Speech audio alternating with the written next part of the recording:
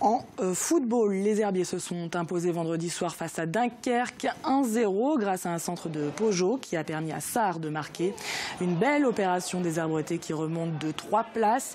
Ils sont désormais 11e au classement. Une satisfaction pour le coach Frédéric Reculot. Écoutez. C'est une belle victoire. Ouais, je pense que les garçons ont été récompensés de leur, effort et de la qualité de, jeu qu'ils ont pu essayer de mettre en place. C'était pas facile, les conditions étaient difficiles, mais je pense que cette équipe Herbretaise ce soir a, été euh, ambitieuse et elle a été récompensée. Donc forcément, le fait de ne pas prendre de but, d'avoir, d'avoir eu une animation défensive assez, assez performante. Et puis, euh, je pense qu'on aurait pu malgré tout, sur deux ou trois opportunités, peut-être euh, aller chercher ce 2-0 avec beaucoup plus d'ambition. Mais bon, on ne va pas non plus être dans l'excès. Mais euh, non, non, ça reste, ça reste intéressant ce soir.